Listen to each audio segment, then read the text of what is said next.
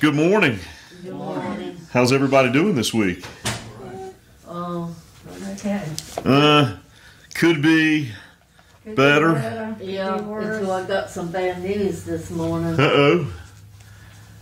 When I looked in the. Something all the time that the devil has really been Oh, behind me, but I tell you what, he's gone. I guess that's something you want to keep unspoken this morning. But uh, anyhow, at eight o'clock this morning, my stepmother, she called her son's wife. I didn't know much about his wife, but him I did, and uh, took her to Duke.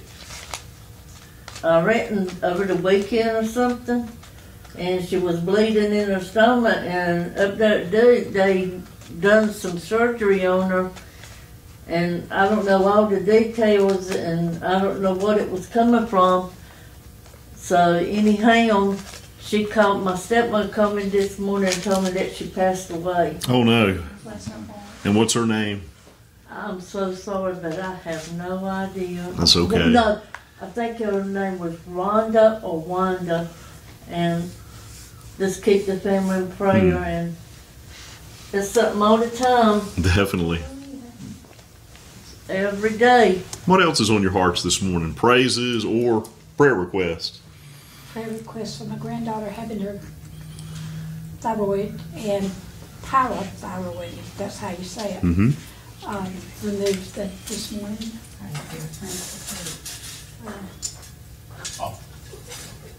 She said, my phone goes off it because they're letting me know she got through the surgery. All right. I'm just thankful. I was looking through some drawers this morning and I found my papers when I went to Duke years ago. Mm-hmm. I was allergic to everything. And God gave me a gift, apple cider vinegar. Hmm. Now that is the truth. That's helped you with a lot of those issues that you were having years and years ago. Now the only thing I'm really allergic to is smoke and perfume, cigarette smoke and perfume. Well, that has definitely been a blessing for your life. See the things that I was allergic to. Do do you I mean, I was bad. I was just bad. Usually that's what they do. They take like a tablespoon of it. Okay. I took shots for about 8 Mhm. years. All right. Dan, Just keep me in prayer. that God we can do. My heart. He does. It's the holidays coming, so It's going to be a tough time these next several weeks. so just that I can go over that hill. That's it. That's it. A lot of emotions as we move to Thanksgiving next week and then Christmas in That's just the over a month. And That's the hardest. just Donna. praying for our, our own denomination churches. Absolutely. Just Praying that people will come back and we just need the people back in the church. That's it. I mean, we've had COVID. Yeah. Praying that, it's gotten better and then it got worse and then it kind of got better again. That's a slight uptick the last few days, but Oh, just we praying. heard on the news that people in the nursing home, Yeah. there's about five people had already had all the shots. And every one of them died from it. hmm, Wow. So, every one of them had it and died.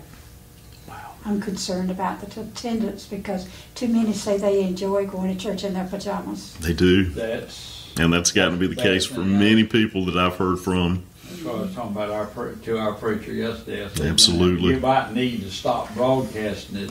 But you Because- hate for those I know, that truly that are truly invalids.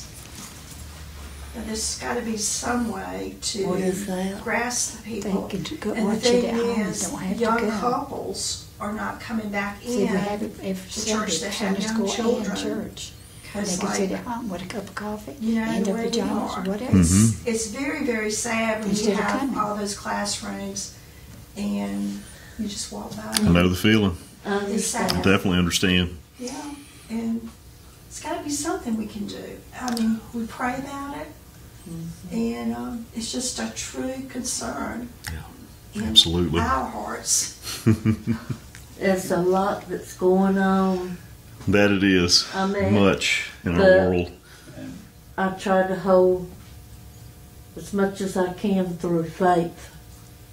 That's what we Faith do. is the key word. That's what gives us the hope we need to keep pushing forward, even in times such as these. And what, what gets me is like what you were talking Yeah, about. People yeah. sitting home. Oh no, I'll, I'll give you that. I'll, I'll put that on the cutting board when we go next door. People staying home in their pajamas. Then we have one man that comes and does, and he's he's not had a severe stroke, but he's had some, and he walks with a cane. Mm-hmm. Like I was talking to our preacher yesterday, I said, if that man can get to church on Sunday morning, there ain't no reason that some of the Absolutely. young folks and in better health people can't get to church on Sunday morning. That's right. Mm. Lot of, lot of, it's a lot there. The truth, is- they always say the truth is, the truth is the light of the world. That's it. Have you ever heard of that one? And then some people embrace the truth, and some people, it's kind of like we looked at in Galatians last week. When you do bring up the truth, then people start getting offended and turned away. That's a lot. It is. And all we can do is just pray and pray and pray because, you know, it's just a lot going on. Hmm. Maybe you have unspoken needs that are close to your hearts this morning. Let's take a few moments as we collect our hearts and our minds, get ready for our study, and then I'll lead us in a moment of prayer. So, would you bow with me?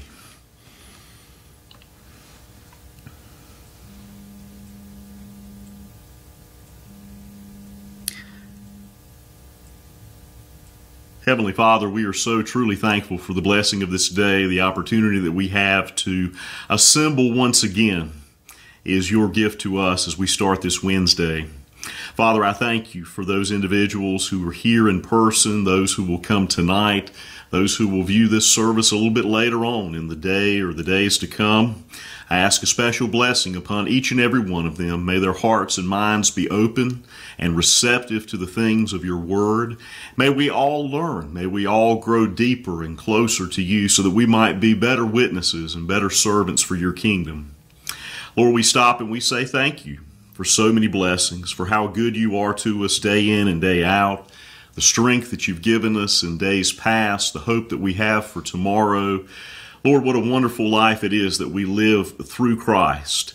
Lord, we know that this world does have its challenges, and we know that it would certainly be so much more overwhelming if we did not have your power and presence working in and through our lives. Lord, today when we think about your blessings, that gives us so much confidence when we approach you in prayer, when we have needs that are pressing on our hearts and our minds. We know of so many who are hurting, who are hurting physically and mentally, emotionally, spiritually. With the holidays upon us, there are going to be a lot of different emotions for so many in our church family and community. Lord, we know that the world, as we've said before in our discussions, is not the place that we wish for it to be. But we know that it continues to be our mission field and that we still have a good work to do day in and day out. Lord, give us the guidance, the wisdom, the strength, the encouragement we need each and every day to be faithful servants of your word, to be the light and the salt that you would have us to be, so that other people will see the reality of the gospel of Jesus, so that they'll know that it's something truthful, something that they can believe in, and something they can live according to that will transform their lives forever and ever. Lord, again, we thank you for these moments together. Let us be receptive for what you have in store for us. And for these and all good gifts, we stop and we say thank you. In Jesus' name we pray. Amen. All right, Galatians chapter 4. We're going to put chapter 4 to bed today, I promise. I was going to put it to bed last week, but then we didn't get through 20 verses two weeks ago. But that was a good thing because there was a lot of material that we had to wade through in those first 20 verses. So today we're going to pick up with Galatians chapter 4 at verse 21. And this will take us through the end of the chapter at verse 31. Of course, next week we're going to take a break due to preparations for Thanksgiving, but we'll be back in two weeks. And we're going to finish up Galatians prior to Christmas and we're going to have just a little window of break in there for the holidays and we're going to come back in the new year in a study of nehemiah old testament book wonderful book It's about 13 chapters long. It's the story of God's people as they're regathering, regrouping, and rebuilding following the time of Babylonian captivity. It's a story of a man and his leadership. It's a story of one man's heart that is broken because of what he sees going on amongst the people, even after they're able to go back to their homeland and back to the city of Jerusalem. It's a story of rediscovering who God is and also being able to rebuild in light of that rediscovery. So I hope that you'll help us to get the word around. It's going to be a wonderful study, not only because it's a biblical book and it's an Old Testament biblical book, which it's been a little while since we've been in the Old Testament, but also because it is such a great story and I believe it's applicable to the times in which we're living. It gives us some hope and some encouragement to get up, to move forward, to continue the good work that God has called us into. Galatians chapter 4, beginning at 21. I'm going to read this whole section to us, and then we're going to go back and unpack it just a little bit because it can be, as we've seen with Paul in Galatians, a tiny bit confusing the way he jumps around. Tell me, you who desire to be subject to the law, will you not listen to the law? For it is written that Abraham had two sons, one by a slave woman, the other by a free woman. One, the child of the slave, was born according to the flesh. The other, the child of the free woman, was born through the promise. Now, this is an allegory. These women are two covenants. One woman, in fact, is Hagar from Mount Sinai, bearing children from slavery. Now, Hagar is Mount Sinai in Arabia and corresponds to the present Jerusalem, for she is in slavery with her children. But the other woman corresponds to the Jerusalem above. She is free, and she is our mother. For it is written, Rejoice, you childless one, you who bear no children. Burst into song and shout, you who endure no birth pangs, for the children of the desolate woman are more numerous than the children of the one who is married. Now you, my friends, are children of the promise, like Isaac. But just as at that time the child who was born according to the flesh persecuted the child who was born according to the Spirit, so it is now also.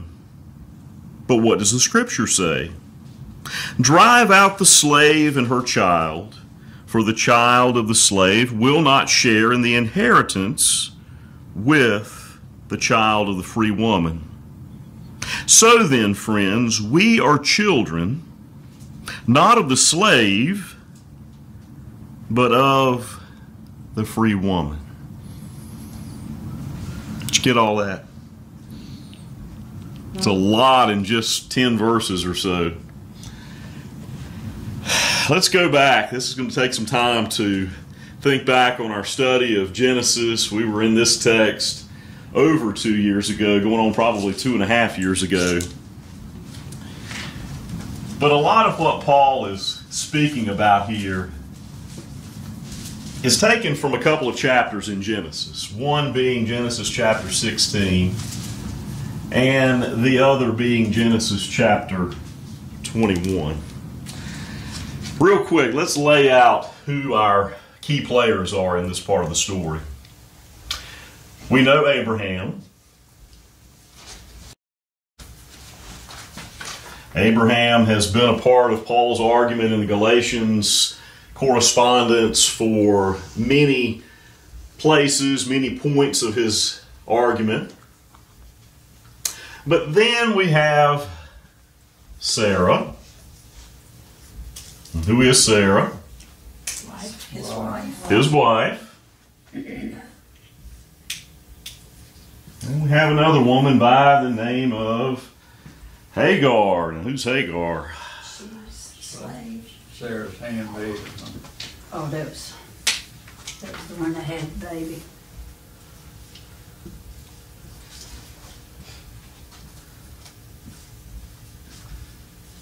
Okay. Then we're going to have some children born into all of this. What are the children's names? Um, Isaac, Remember that? What did you say that? and, Ish- Ishmael, mhm.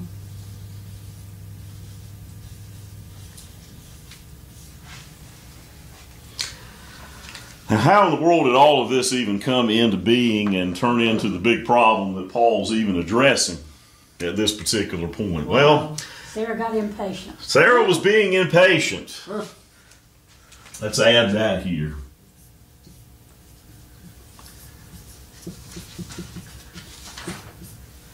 She was impatient because, well, she thought it was utterly ridiculous to think that she and Abraham together would have a son, especially being so well advanced in years, and the fact that she had been childless thus far.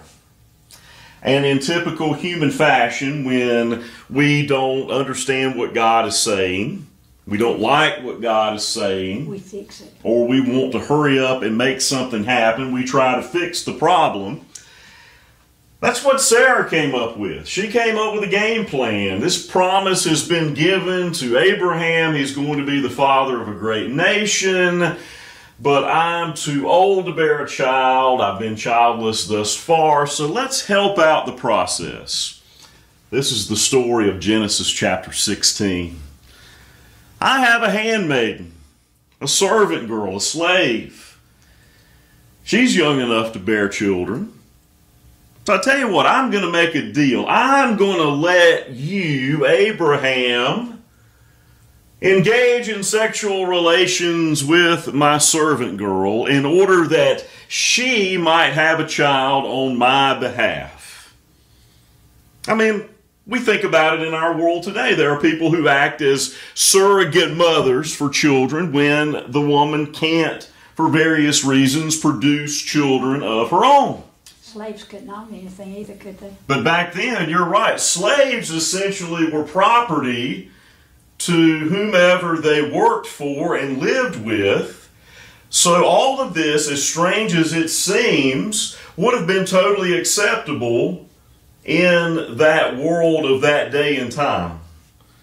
You're my servant girl. I have a need. You need to satisfy that need. Okay, I'm not going to argue with you, ma'am. Abraham has his fling with Hagar. She becomes pregnant. But it's not as simple and cut and dry as that. When we read Genesis chapter 16, Remember, yeah, yeah. I thought you were wanting me to come over there. Wasn't sure what was going on there for a moment. Woo. In chapter 16, the text tells us that upon her pregnancy, Hagar had some difficult feelings toward Sarah.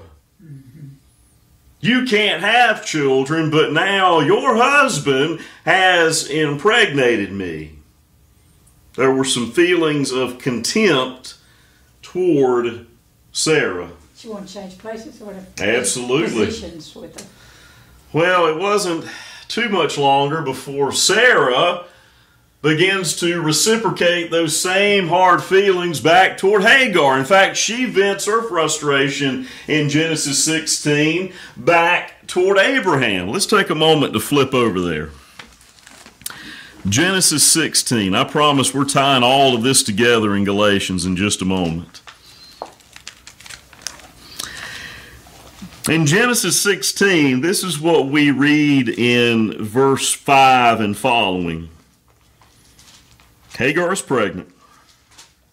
Then Sarah said to Abram, May the wrong done to me be on you. I gave my slave girl to your embrace, and when she saw that she had conceived, she looked on me with contempt. May the Lord judge between you and me. But Abram said to Sarah, Your slave girl is in your power. Do to her as you please. Then Sarah dealt harshly with Hagar, and she ran away from her. This whole thing has been Sarah's plan. But now Hagar is with child, which is exactly what Sarah had wanted. Now, Hagar, I've got a child on the way and you don't. But Sarah's got a lot of bitter feelings. She's got some hard feelings because Hagar is showing contempt toward her, but guess what? She's going to take the brunt of her frustration out over here on Abraham. I gave you my servant girl. You went in, you had sexual intercourse with her. She's pregnant. Now leave it alone. She has snapped. This is not a good time to be in Abraham and Sarah's tent. And it's so bad that the words that are used there, and it's interesting because it comes up again at other times in the Old Testament. And many times we use these words as a blessing to other people. I think the State Woman's Auxiliary may have it as a part of their official wording. When you're finishing up a meeting, may the Lord watch between me and thee while we're apart. Now, honestly, on the surface, that sounds totally innocent. May the Lord keep us safe. May the Lord supply our needs. May the Lord be a blessing to each of us until we see each other again. Often that's what happens when we read the text. That's not a bad thing, but also it's not exactly true to what's in the Hebrew text either, because to say, may the Lord judge or watch between me and thee, is to essentially say, I don't trust you.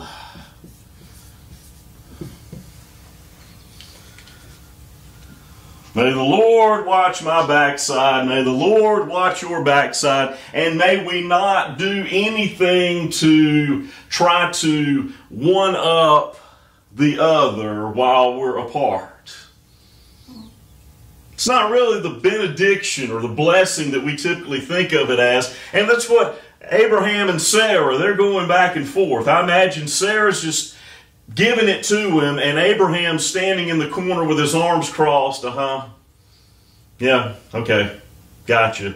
Well, she's your servant, girl, so do with her as you please. You came up with the idea. She's pregnant. Now you don't like the idea that she's pregnant. Send her away if you want to. And that's what she does. She deals harshly with Hagar, and off goes the servant girl. While she's away, she hears a word from the Lord telling her that she will give birth to a child, a son specifically. His name is going to be Ishmael, and he, in his own right, is going to have a line, a lineage of his own. He's going to be known throughout history, but it's going to be a very different line of history.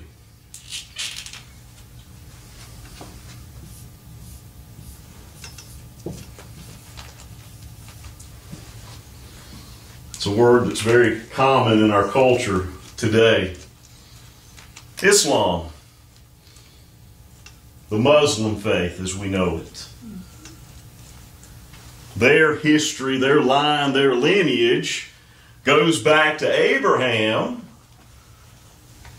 but not through Isaac, but through Ishmael. Some time passes, things cool down. Hagar comes back. Let's pick up over in Genesis chapter 21.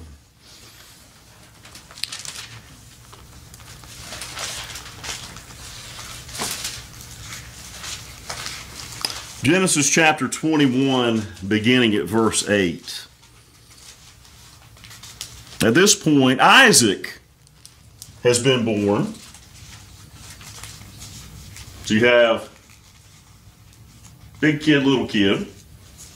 And as often happens in families when there are siblings and one's older than the other, there can be a tendency for one to gang up on the other or multiple ones to gang up on another. And that's what's going on at this point in the story. In verse 8, it says, The child grew, referring to Isaac, and was weaned, and Abraham made a great feast on the day that Isaac was weaned.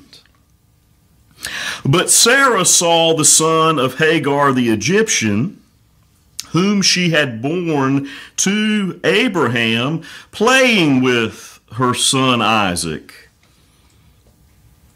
So she said to Abraham, Cast out this slave woman with her son, for the son of this slave shall not inherit along with my son Isaac.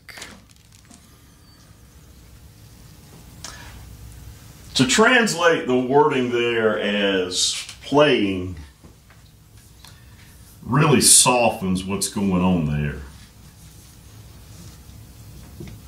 In fact, sometimes kids will say, Oh, we were just clowning around.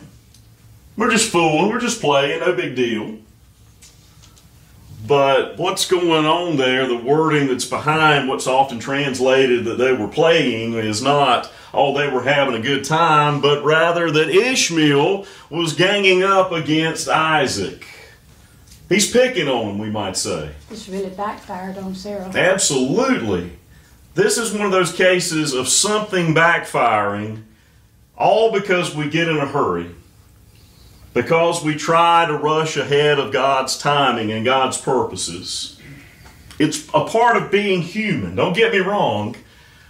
But imagine all of the problems that could be solved that are going on in our world today if this moment right here had never occurred. If Abraham and Sarah had both believed and not thought it utterly ridiculous that they couldn't have a child late in life, then certainly Hagar would have never even been in the story, and the rest would be history. No Ishmael, no Islamic faith. Now, I'm not picking on the Islamic faith this morning, don't get me wrong, but think about how much tension and friction that's in our world between religious groups because of this act of disobedience, being in a hurry, whatever you want to call it.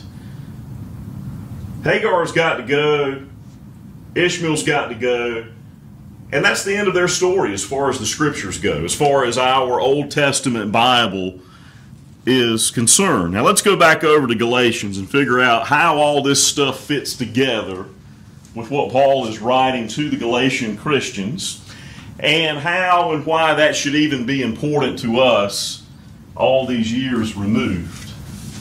I think there's a lot that we learn from the story of Abraham, Sarah, and Hagar.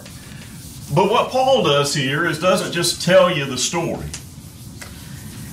He does something here that, as I read a moment ago, he calls allegory.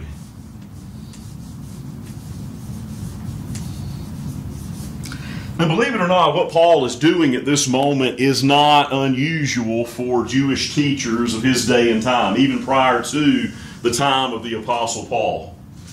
To take a text, an Old Testament story, and to use it as an illustration for something more, something bigger than what it's just telling as the story in and of itself. Kind of like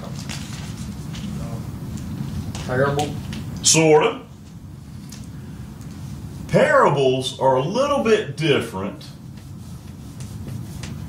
because parables have one key point, one gotcha sort of moment. Yes, we do look at Jesus' parables, and sometimes we can make them allegorical when we try to make every little part and piece stand for something else. But a parable versus an allegory makes one key truth, one boom, gotcha sort of point. allegory, yes, it does things that are symbolic, but in allegory, your people, your places, your events are symbolic of something else. Let me give you a good illustration. I put it there in your handout. One of the best known allegories in Christianity is a book called Pilgrim's Progress. I remember reading this when I was in the third or fourth grade and I had no clue what was going on.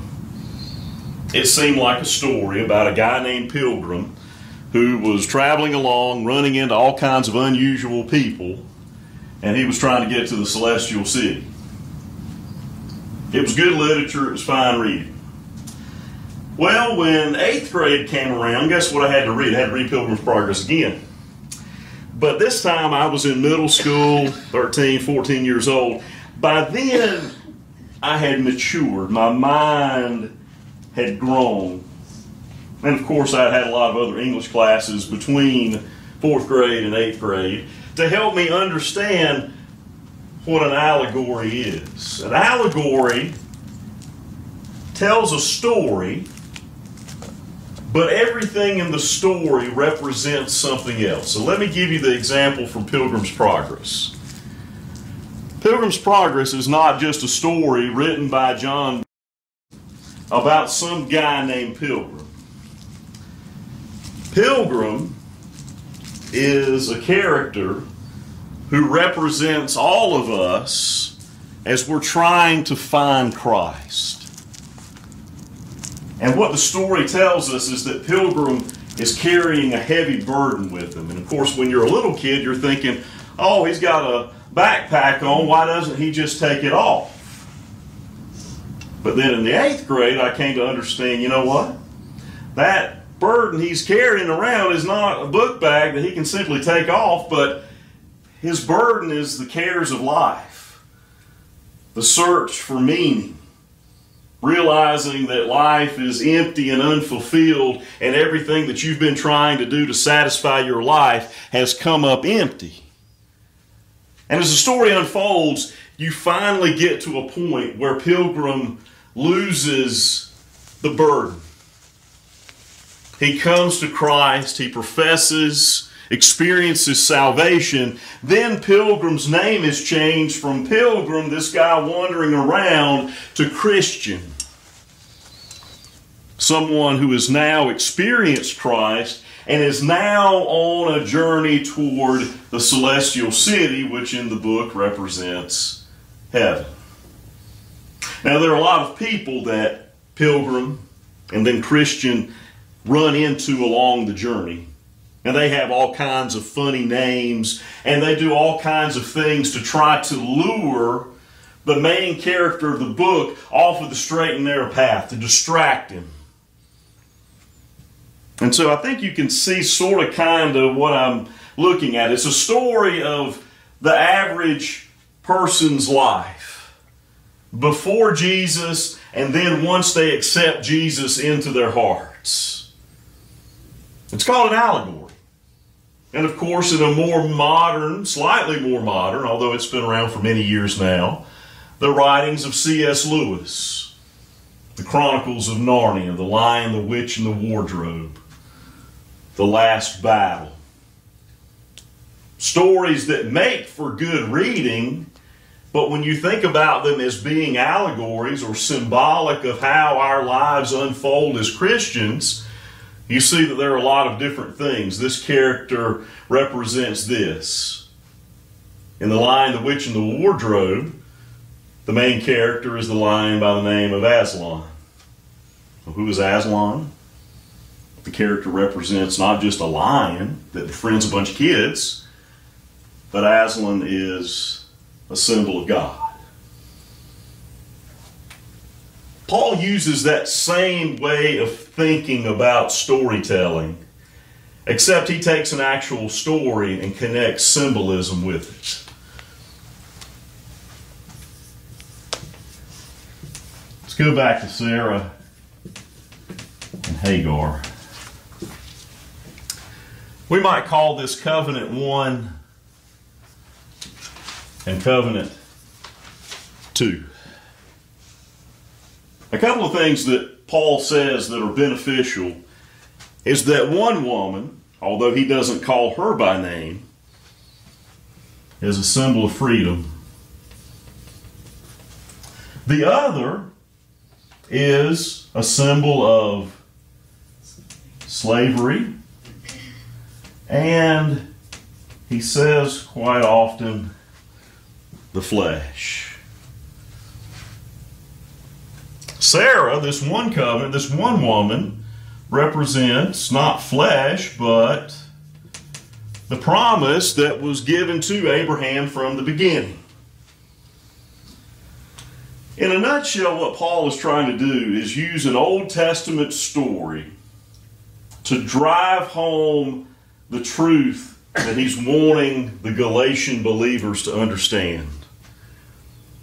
If they follow the way of the flesh, the path of circumcision, it's as though they're trying to follow the way of Hagar. Hagar wasn't the true wife of Abraham. She was the servant girl. Had no rights. Absolutely. No rights. That was not how God wanted. God didn't say when He issued the promise, Abraham, go talk to your wife Sarah. Tell her that you need to borrow one of her handmaidens. You'll have sex with her. You'll produce a child, and the promise will continue. And that was not a part of the game plan from the beginning. The promise was to Abraham and his legal wife Sarah that you all are going to have a child and that you're going to be the father of a great nation. You're going to have a multitude of descendants far greater than the stars of the heavens and the grains of sand along the beaches. Never said anything about pulling in this slave girl to help out the process. But here Paul is saying that those teachers who have come into Galatia who are insisting that you need to follow the law and that you need to be circumcised to fully experience God's salvation through Jesus are kind of like Hagar in the story. Hagar was a part of the story, but eventually she was dismissed. She was on the stage for a time and then her character was kind of written out, like we would say in a TV show or a movie series. It sounded like to me Sarah was staying busy all the time. Either she's having a child or she's trying to make preparations for somebody else to have a child for. And then she's fussing at Abraham because Abraham did exactly what his wife told him to do. Go figure. Wait a minute. It, it is it is confusing. Why that you wait a minute, you're the one but it happens in our lives too. That's when you just say as a man, yes, dear. You're right, dear. I'm sorry, dear. I can say it because I am one, so I know how it is. If it's red, then it's really white. Yes, dear. It, we'll, we'll do that.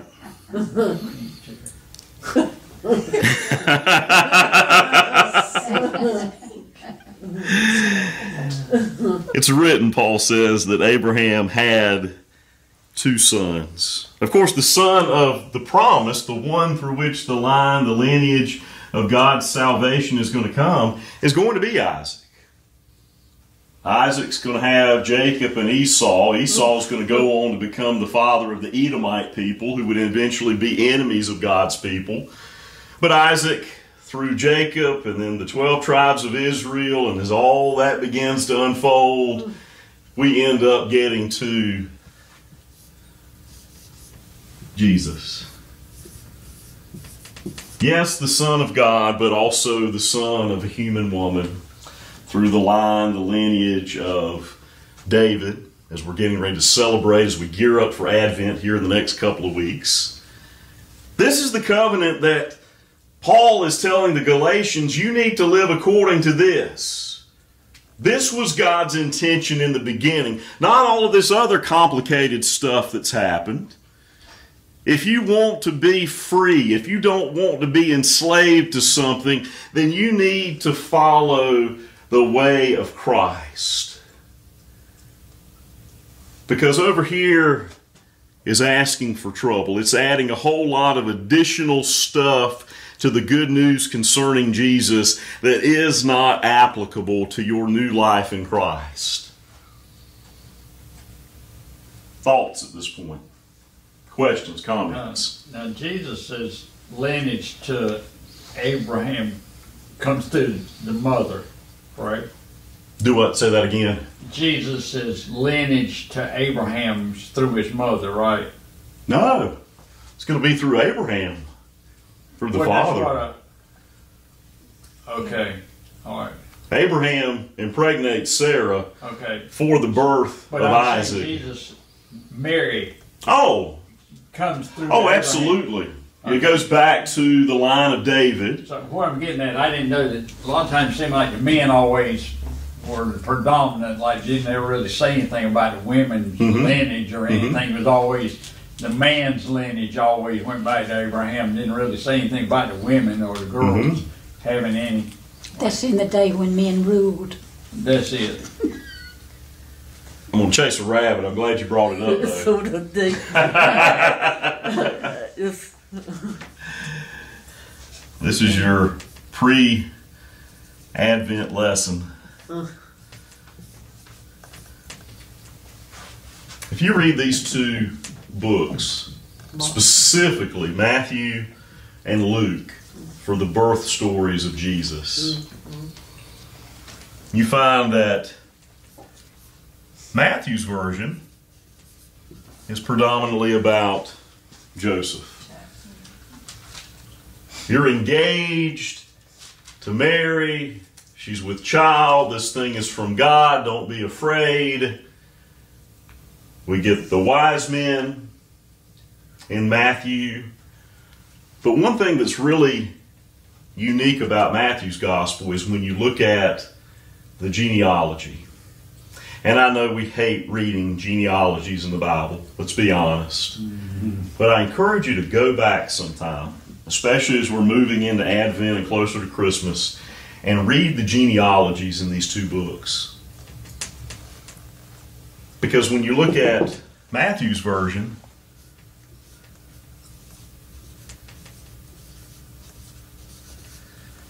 that genealogy is going to go all the way back to Abraham. We often say that Matthew's gospel is the most Jewish of the four gospels.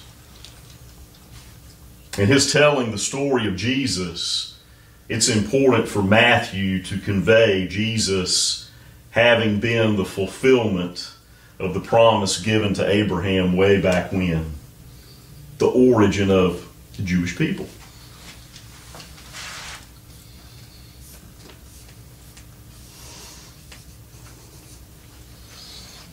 Then there's Luke's story. Luke's story is very Gentile focused, written probably to a predominantly large group of Greek or Gentile background Christians because so many of the things that happen in Luke's story, women take prominent roles in the stories. A Samaritan in one of the parables is the hero that takes care of the man who's been beaten. The most unlikely people are key people in the kingdom of God according to Luke's gospel. But to prove that Christ came for all of us, this line and lineage of Jesus, when we look at that genealogy in Luke, doesn't stop here at Abraham, the father of the Jewish people, but let's go all the way back to Adam, father of humanity. Mm-hmm. Jesus is for the Jews. Jesus is also for everybody. Has nothing to do with Galatians, but I just thought that was kind of interesting. I wanted to, to chase that rabbit. But we can tie it back in because Abraham is the patriarch, the father of the Jewish people. They hold him up as being their hero. Probably second to Abraham would be Moses because the law was handed down to Moses. He passed that along to the people. People started following the law and began living what we know as the Jewish faith. Paul says some interesting things here. He doesn't just say, okay, these are the two women. He also says some other things. One that he mentions is in verse 24. It says, Now this is the allegory. One woman, in fact, is Hagar from Mount Sinai, bearing children for slavery.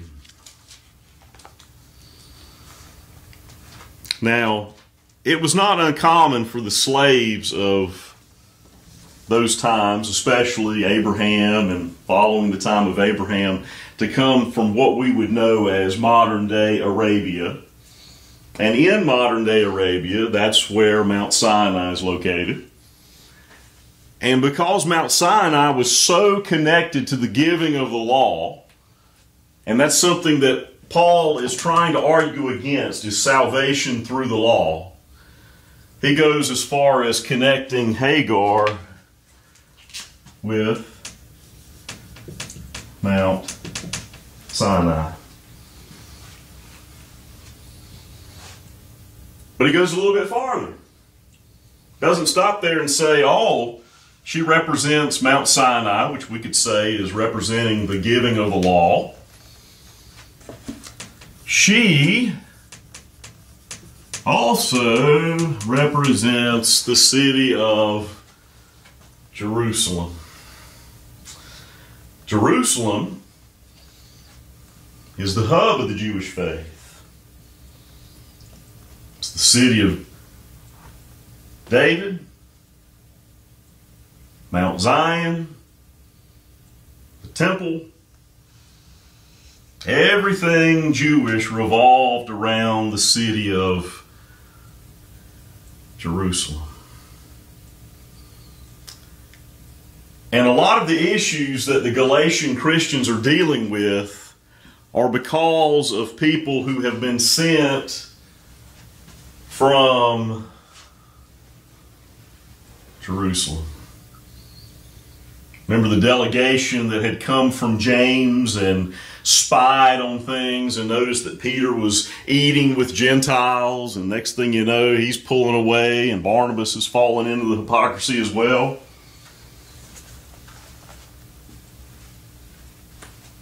That's a pretty strong way to say that the law and the city that's so sacred and holy to everything Jewish are represented by Hagar.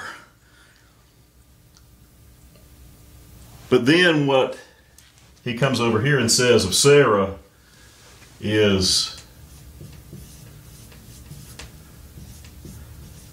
the Jerusalem above. The true Jerusalem. Not a city of brick and mortar here on earth that represents the Jewish faith, but that city that awaits all of us when we depart from this life because we have that saving knowledge of Jesus Christ. This is the covenant that Paul is all for. But if they start to fall into being circumcised, observing feasts and and all this other stuff in addition to Jesus, this is what they're really becoming. We might say that they're becoming outsiders looking in, not the true people that God has intended for them to be since He called Abraham in the very beginning. To go back and reiterate the last part of what I read this morning. In verse 28, it says, Now you, my friends, are children of the promise, like Ishmael? No. You're children of the promise, like Isaac. And in verse 29, it says, Just as at that time the child who was born according to the flesh persecuted the child who was born according to the promise, so it is now also. Now, we're not talking in this moment about systematic persecution from the Romans against Christianity. We're talking at this moment about the friction that's starting to form between the Jewish community and the Christian community. Just as I shared with you from Genesis 21 that there was a time when Ishmael was picking on Isaac, and therefore Hagar and Ishmael were sent away. Well, he was older. He was a little bit older. Don't really know how much older, but there definitely was. I think my, my translation says sixteen years.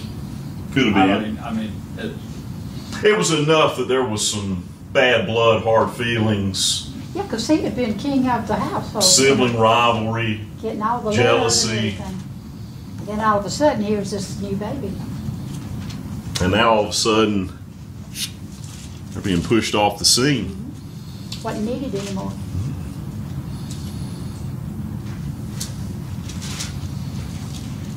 Just as Ishmael had persecuted or picked on Isaac early on, it's what's happening when these Jewish teachers have come into Galatia and are upsetting and unsettling everything that Paul has tried to do in proclaiming Jesus to them. I don't know if she, I don't know if it's sixteen years, but it says for sixteen years, Abraham thought that Ishmael's birth had fulfilled God's promise. I don't know, I was just, I might have been wrong on that. Other thoughts or comments? This, this is some complex stuff. Diane? I'm trying to understand that this is just a little bit deep for Okay. me to understand. I mean, I Understand. hate It's, to- it's, we're mean- all right there. I mean, it's all good, but it's sort of, whew. Yeah. The thing is, I guess, when you're talking about this, and you know, we were talking about Sarah can see a while ago. Sarah had sent Hagar because she knew that she wanted a baby. And it's like, why didn't she give her the baby for her to take care of? Right. You have the baby and then you relinquish the baby to me. That's where that contempt comes in, I believe, in chapter 16 when it says that she had contempt for her mistress. She had some hard feelings back toward her because I've got a child and who knows, maybe that had been discussed and now it's like, no, no, this is my baby. I'm not giving up my baby. Kind of like Moses, you know, his mama gave him up, you know. But still ended up being able to raise him. Yeah, I mean, because she would probably still been there taking care of it as a slave. Mhm. It's like It's kinda Sarah like never blackmailing could Sarah, cuddle and love that baby. Don't you think, in a sense, it was blackmail? It is. And really, honestly, and I'm going to say it, it may sound a little bit strong, it's only about a half step removed from what we would call rape. Oh, Lord. And, and, and I mean, really, you think, when Isaac was born, she was 90 whatever. I'd hate to take care of a child nowadays at my age, much less 90 years old. I mean, Hey, it's I tough at 42 say- taking care of a seven year old. I always say you must have some good handmaids or something, because I can't see a woman 90 years old won't change diapers. and- That, that's and like thirty baby. now, probably. Because, you know, they used to live so much longer. It's. Uh, Other thoughts, other comments, questions. It's, it's heavy it than live stuff. it. It's complicated stuff.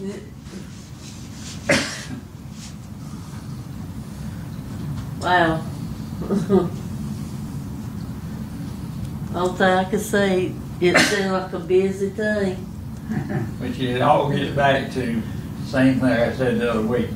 You know, we've always done it that way. That's the first thing you know. A lot of times in a lot of your old churches, not your new churches, uh, we've always done it that way. You know, it's hard to change. And I But mean, really, once comfort you're in- set, It's comfort in that, you know, the and, and I mean, is even done. at my age, I don't like computers. I don't like cell phones, but you know, It's sort of a, we have to have them, live with them or live without them, sort that's of. it. That's One point that I want to bring up, and I'll kind of wrap up with this. You notice where I began. Yes, I read Galatians chapter 4, 21 to 31 to you.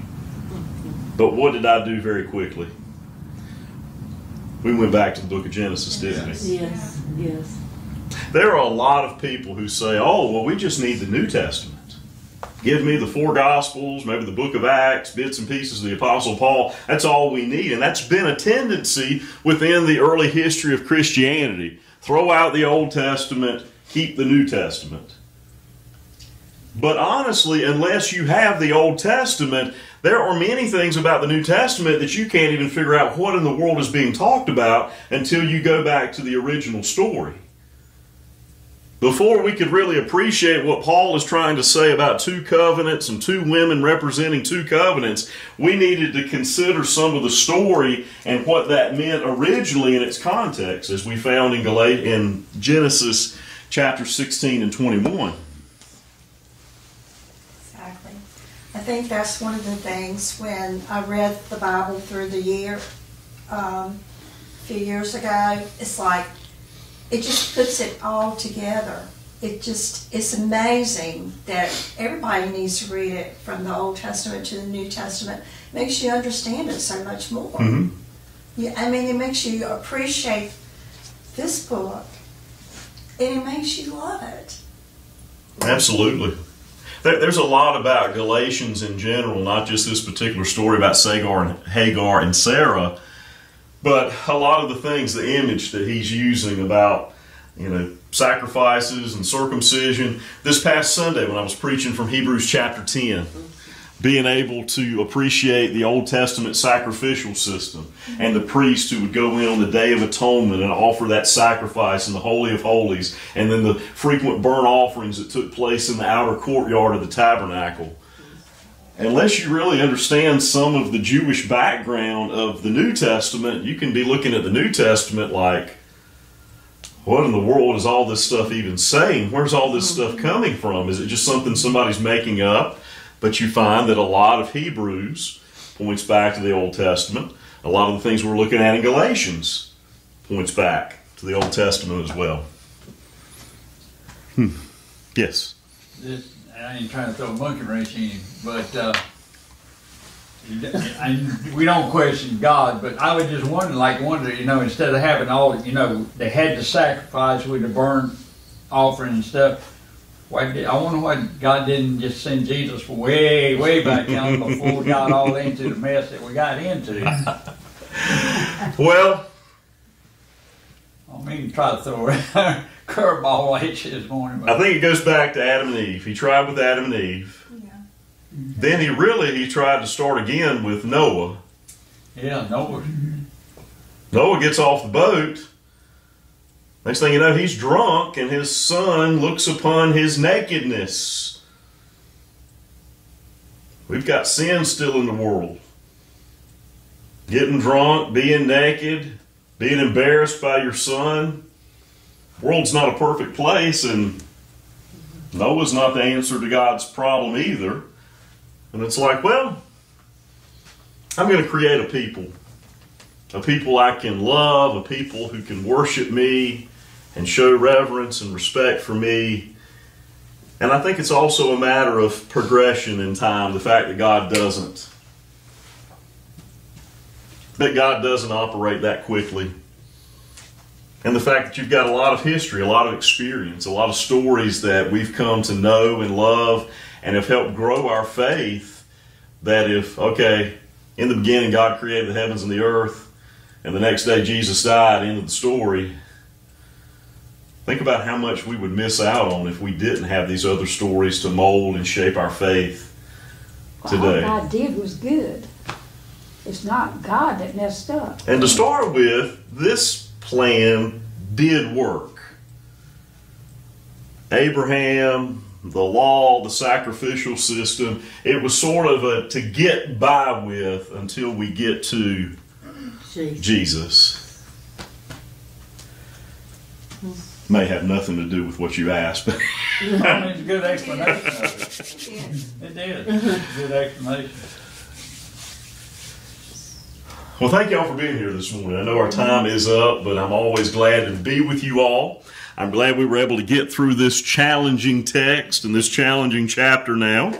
But as I said a couple of weeks ago, with chapters 5 and 6, we get into some of the practical the nuts and bolts, the daily doing, the daily practicing of our faith, because there's a lot there about what it means to live according to Christian freedom, the freedom that God has given us through His Son Jesus.